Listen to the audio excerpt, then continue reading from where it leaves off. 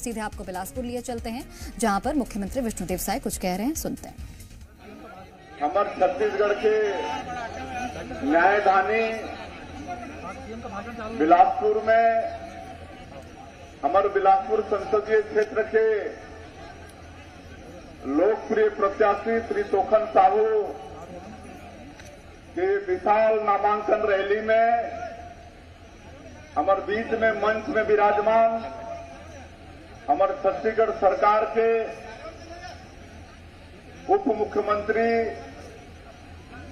और पूर्व प्रदेश के अध्यक्ष, आपन के क्षेत्र के पूर्व सांसद, श्री अरुण साहु जी, जीवन के समय में हमके विधानसभा के चुनाव में ऐतिहासिक विजय मिली। भारतीय जनता पार्टी के सरकार बनी। हमारे छत्तीसगढ़ सरकार के मंत्री श्री दयालदास बघेल जी हमारे बिलासपुर क्लस्टर के प्रभारी, पूर्व मंत्री और बिलासपुर के विधायक श्री अमर अग्रवाल जी, पूर्व विधानसभा के अध्यक्ष, पूर्व नेता प्रतिपक्ष और बिल्हा के विधायक श्री धरमलाल कौशिक जी और हमारा पराजय योद्धा पूर्व मंत्री, पूर्व सांसद और मुंगेले के विधायक श्री पुन्नूलाल मोहले जी, विधायक श्री धर्मजीत सिंह जी, विधायक सुशांत शुक्ला जी भूपेन्द्र सवन्नी जी और हमारे इस क्षेत्र के लोकप्रिय प्रत्याशी श्री तोखन साहू जी, डॉक्टर कृष्णमूर्ति बांधी जी, श्री प्रबल प्रताप सिंह दुदेव जी, कन्हैया राठौर जी, लखन साहू जी, पूर्व सांसद अरुण सिंह चौहान जी, श्रीमती हर्षिता पांडे जी गुलशन ऋषि जी, और बहुत लंबा नाम है, मैं क्षमा चाहूँ, मंच में विराजमान सबो हमारे पार्टी के वरिष्ठ नेता मन नेत्रीमन और आज के विशाल नामांकन रैली में पूरे संसदीय क्षेत्र के हमारे देवतुल्य कार्यकर्ता भाई बहनी मन, मतदाता भाई बहनी मन, और मीडिया के मित्र मन। सब कर ले पहले। आज कांग्रेस के बड़े नेता, जो लोकसभा प्रत्याशी के दावेदार रहे कांग्रेस से, ऐसे विष्णु यादव जी और साथ में हमारा और बहनी मन, भारतीय जनता पार्टी के रीति नीति से हमारे मोदी जी के काम से प्रभावित होके, भारतीय जनता पार्टी प्रवेश करीन है। उमन के लिए, मैं चाहूँ कि आप सब करतल ध्वनि से उमन का स्वागत करा। और बंधुओं, अब ये जो लोकसभा के चुनाव है, ये बहुत महत्वपूर्ण चुनाव है। कोई छोटा मोटा चुनाव नहीं है। हमारे देश के यशस्वी प्रधानमंत्री श्री नरेंद्र मोदी जी, जो 140 करोड़ भारतवासी ला अपन परिवार मानते हैं और उनके सुख दुख के राहत और दिन चिंता करते हैं। चौबीस घंटा में 18 घंटा काम करते हैं। जो 10 साल में बड़े बड़े काम हमारे देश में करी रहे हैं, दुनिया में भारत के गौरव बढ़ाई रहे हैं। ऐसे नरेंद्र मोदी जी ला तीसरी बार प्रधानमंत्री बनाए के चुनाव है। आप पर सहमत हो ना? सहमत हो? तीसरी बार बनाना है नरेंद्र मोदी जी ला। हाँ तो ऐसे नहीं चले भाई मुट्ठी बाँध के दोनों हाथ उठा के एक बार बताओ। चले भारत माता की। तो हमला, ये बिलासपुर संसदीय क्षेत्र के, हमारे जो लोकप्रिय प्रत्याशी है, श्री तो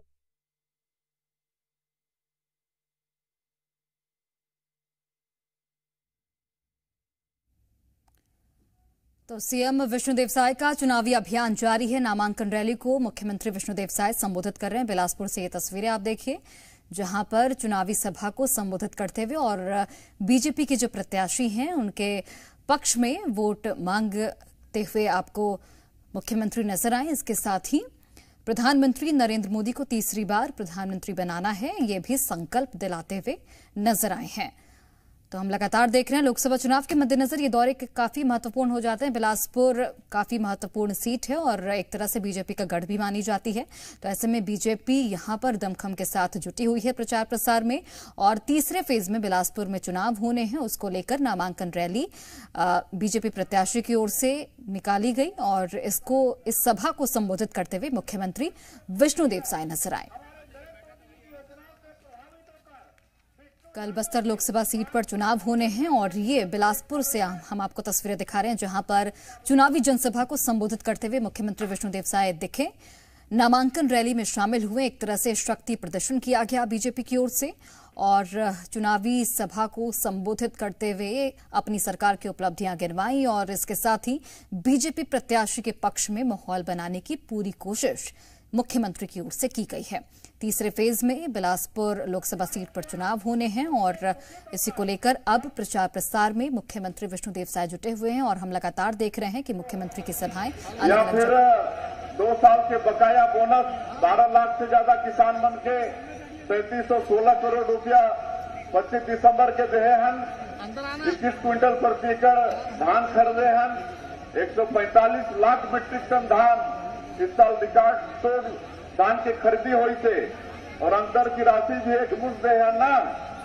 चौबीस लाख बहत्तर हज़ार से ज़्यादा किसान मन के तेरह हज़ार तीन सौ बीस करोड़ रुपया अंतर की राशि ये बारह मास के दे हैं। हमारे महतारी मल्ला भी महतारी बंधन के दूसरा किस्त दे दे हैं।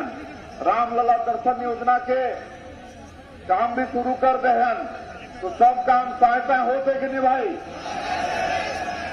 बाकी कामला भी सहायता कर दो, है ना? और अभी हमारे मोदी जी संकल्प पत्र जारी करी है, मोदी की गारंटी 2024 में और बड़े बड़े काम होना है। प्रधानमंत्री आवास, तीन करोड़ और आने वाला पाँच साल में बनाना है। हमारे सत्तर साल से ऊपर के बुज़ुर्ग वाला सबला आयुष्मान भारत में शामिल करना है। ये सब बहुत काम और मोदी जी के कृपा से सहायता होने वाला है। और इसीलिए और ज़्यादा नहीं कहते हुए आप सबके आशीर्वाद मिले। आप सब अपन टोकन साहू समझ के प्रचंड मतों से बिलासपुर से भारतीय जनता पार्टी के सांसद बना के भेजो। नरेंद्र मोदी जी ला तीसरी बार हमला प्रधानमंत्री बनाना है और कांग्रेसिया मंडन कोई मुद्दा नहीं है। तो एक तो मन भ्रामक प्रचार करत है कि दोनों जगह अगर भारतीय जनता पार्टी की सरकार बनेगी छत्तीसगढ़ में भी और दिल्ली में भी तो आरक्षण खत्म हो जाएगा। मैं आप मतलब विश्वास दिलाता हूँ कि कोई आरक्षण खत्म होने वाला नहीं है। हमारे प्रधानमंत्री बोल चुके हैं। अभी गृह मंत्री आ रही तो खैरागढ़ के सभा में भी बोली ने कि जब तक हम लोग सरकार में हैं, भारतीय जनता पार्टी सरकार में है, किसी का आरक्षण समाप्त नहीं होगा। चाहे वो एससी हो, चाहे एससी एससी हो, चाहे ओबीसी हो। और एक लाख के फार्म भरवा थे। हमार महतारी मला ठगे के काम करत है। आप मला विश्वास आते एमन एक लाख रुपया दही। दही एमन। नींद है, खाली वोट ठगे के जैसे पाँच साल वोट ठग के सरकार बने कुछ नहीं करें ये लोकसभा के चुनाव में भी वोट ठगना चाहते हैं। और माता बहनी मन के एक लाख के फार्म भरवाते हैं न्याय योजना। अरे क्या न्याय मन करत है? भारत जोड़ो यात्रा अपन घर परिवार लेमन आज बचा के नहीं रखत है अभी दो दिन पहले में दुर्ग में रहे तो भूपेश बघेल के भाभी सीमा बघेल, वो कांग्रेस छोड़ के हमारे साथ में आ गई भारतीय जनता पार्टी में आ गई तो अपन घर ला तो संभाल नहीं सकत है, एवं प्रदेश दूसरा संभालने का, वैसे कांग्रेसी अमलदा आने वाला लोकसभा के चुनाव में सबक सिखाना है। आप सब देश कार्यकर्ता भाई बहनी मने आए हो, आप सबसे वही आग्रह करते हुए मुख्यमंत्री के नाते कि भारी मतों से टोकन साहू जी सांसद जीत के दिल्ली जाए। यही आप से विनय करते हुए अपन बात कर कर रखो जय हिंद, जय छत्तीसगढ़।